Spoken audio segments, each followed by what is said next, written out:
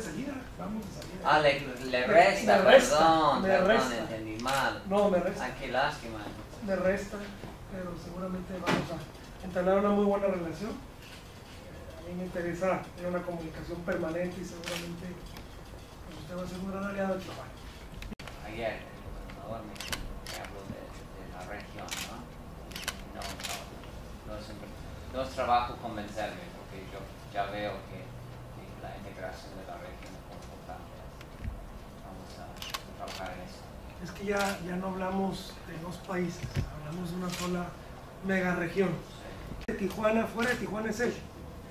Eh, cuando, cuando estaba en Nueva York, San Diego como en Tijuana. Como después de una especie de, de, de fortalecer la relación de las, de las empresas. Ah, sí, por favor, gracias. Nada más. It's like when you read Ahora a sí. book. Sometimes it sounds better in English.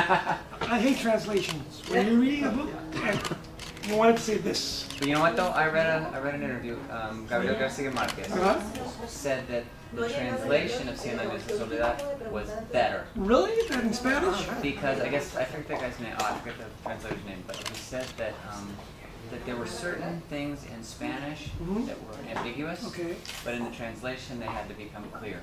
My, my maternal grandfather